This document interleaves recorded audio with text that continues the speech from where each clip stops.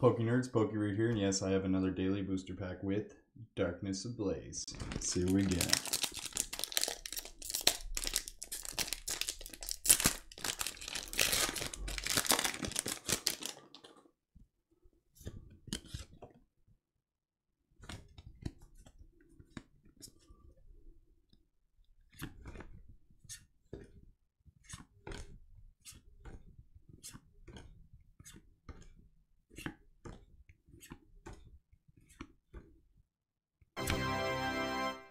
Not bad, Mew. Alright guys, see you tomorrow.